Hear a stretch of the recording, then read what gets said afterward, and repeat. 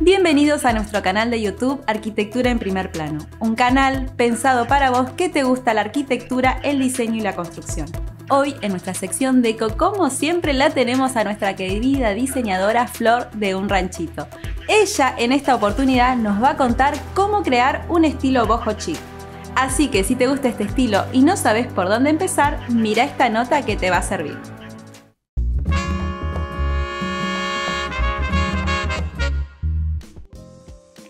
Hola, soy Florencia Morales, decoradora de interiores, dueña de un ranchito fábrica de objetos y bienvenidos a la sección Deco de Arquitectura en Primer Plano.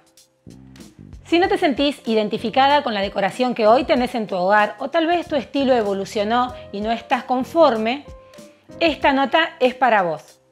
Te voy a contar sobre el estilo decorativo que está en tendencia, es el boho chic y además voy a decirte cómo hacer para poder implementarlo en tu hogar. El estilo boho chic es una decoración bastante libre y no se rige por patrones. Entonces podemos generar una gran mezcla de estilos en un solo lugar. Es bastante ecléctico. Particularmente considero que existen dos estilos distintos. Tenemos un boho chic mucho más colorido y uno con tonos más neutros. En ambos casos, los materiales que vamos a utilizar son similares, pero hay pequeños detalles que debemos tener en cuenta. Para comenzar vamos a hablar de alfombras. Y sí, es así en plural, porque tenemos que colocar varias alfombras. Si vamos a optar por un estilo más colorido, vamos a colocar alfombras de distintos colores y con distintas tramas y dibujos. En cambio, si vamos a tener un estilo boho chic más tranquilo, vamos a utilizar el mismo tono en todas las alfombras, pero podemos jugar acá con las distintas tramas y colores. Para un mismo ambiente vamos a utilizar dos o tres estilos de alfombra, las podemos superponer, pero estas nos van a sectorizar un solo espacio. Otra de las cosas que tenemos que tener en cuenta para lograr este estilo es el color del soporte que vamos a utilizar. Primero, ¿qué es el soporte? El soporte es todo aquello que está detrás de la decoración, por ejemplo, las paredes, los paneles divisores, podemos también utilizar soportes que sean em, bibliotecas grandes, siempre tienen que ser todas de un mismo color.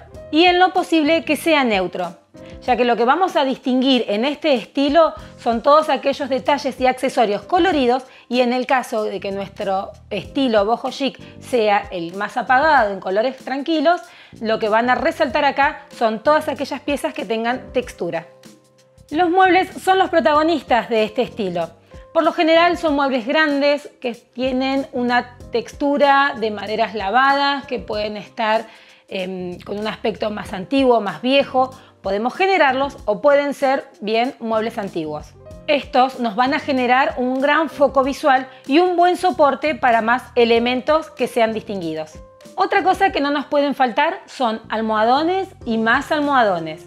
Estos nunca parecen estar de sobra en este estilo, pueden ir acomodados arriba de los sillones, pueden ir en el suelo, arriba de las alfombras o también podemos utilizar los puffs. Estos puffs pueden ser de distintos materiales que también acompañan a generar distintas texturas, por ejemplo los puffs de cuero como los podemos ver acá. Los objetos étnicos de distintas culturas, con distintos colores y alturas, nos van a generar una textura y un gran foco visual. No tengamos miedo de mezclarlos, ya que de esto se nutre este estilo. Por último, pero no menos importante, no debemos olvidarnos de incorporar objetos que sean de fibras naturales, como por ejemplo los puffs de cuero que ya los habíamos mencionado, grandes bancos de maderas naturales, alfombras también pueden ser de yute o de sigras, que es un material muy resistente a los cambios de clima objetos de cerámica o de cristal que pueden ser jarrones para poder incorporar allí distintas ramas y flores secas como por ejemplo las colas de zorro que en esta época vienen muy bien. También podemos colocar plantas vivas, naturales, que sean colgantes o que estén en macetas en distintas alturas. Nos van a generar profundidad en el espacio.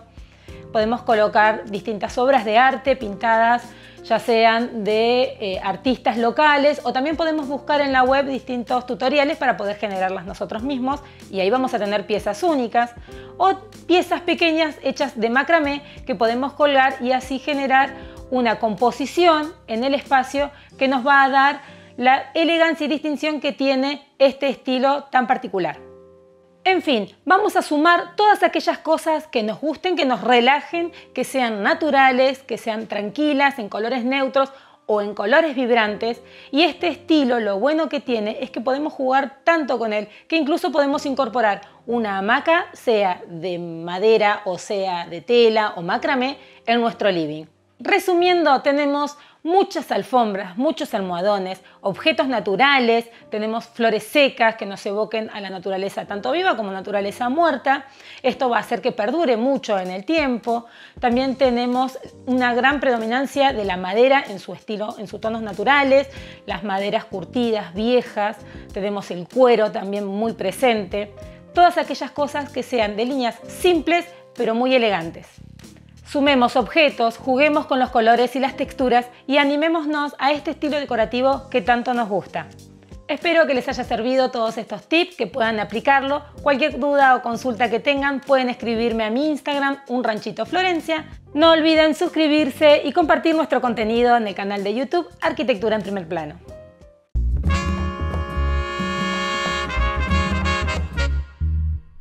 Gracias por llegar al final de este video. Recordá compartirlo, darle me gusta y suscribirte haciendo clic en el logo de acá abajo.